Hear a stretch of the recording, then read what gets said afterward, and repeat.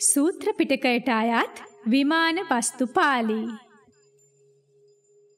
දස බල සේලප්පබවා නිබ්බාන මහා සමුද්ද පරියන්තා අට්ඨංග මග්ග සලිලා ජින වචන නදී චිරං වහතෝති දස බලයන් වහන්සේ නැමැති ශෛලමය පර්වතයෙන් පැන නැගී අමා මහ නිවන නම් වූ මහා සාගරය අවසන් කොට ඇති.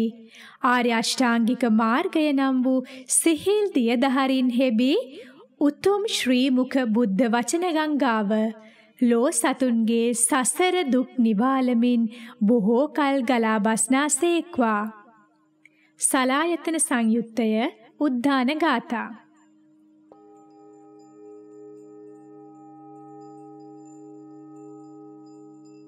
සූත්‍ර පිටකයට අයත් විමාන වස්තු පාළි නමෝ තස්ස භගවතෝ අරහතෝ සම්මා සම්බුද්දස්ස. ඒ භාග්‍යවත් අරහත් සම්මා සම්බුදුරජාණන් වහන්සේට নমස්කාර වේවා.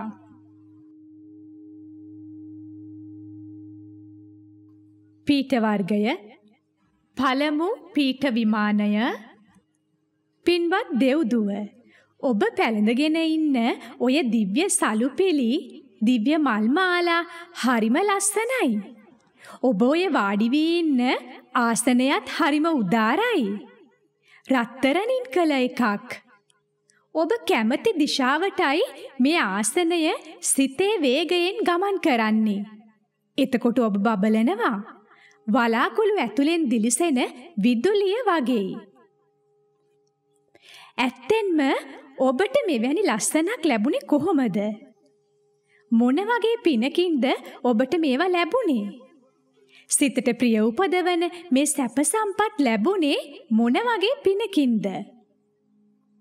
මහානුභාව ඇති පින්වත් දෙව්දුව මිනිස් ලෝකේ ඉන්න කාලෙදී මොන වගේ පිනක්ද ඔබ කළේ?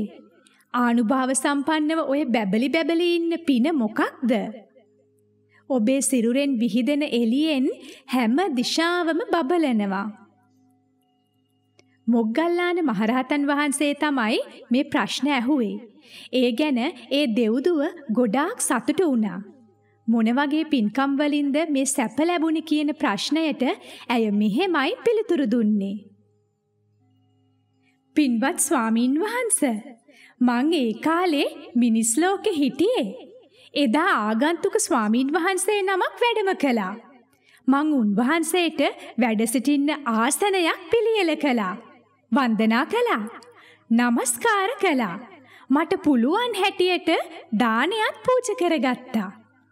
ඒ පිනෙන් තමයි මෙවැනි ලස්සනක් මට ලැබුණේ. ඒ පිනෙන්මයි මේ සම්පත් ලැබුණේ. සිතට ප්‍රීතිය උපදවන මේ සැප සම්පත් ඔක්කොම ලැබුණේ ඒ නිසාමයි. මහානුභාව සම්පන්න වූ ස්වාමීන් වහන්ස. මිනිස් ලෝකෙදී ඔය පින තමයි මං කරගත්තේ.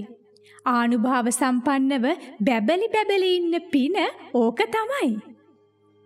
මගේ සිරුරෙන් විහිදෙන එළියෙන් හැම දිශාවම බබලවනවා.